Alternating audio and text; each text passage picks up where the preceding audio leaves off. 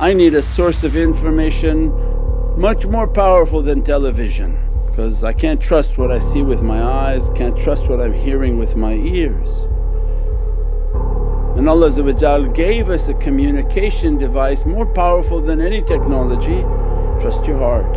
If you clean it and you open it and you begin to condition your heart in your tafakkur and in your contemplation, make your connection with pious people whom are pious in their deeds and in their actions and they live the, the life that they're teaching and this way that they're teaching. You keep their company, you learn how to open up the channel of your heart, the communications of the heart. For a day may come when they cut your internet, they cut your food, they cut your water and they cut your ability. And only hasbunallahu wa ni'mal wakeel.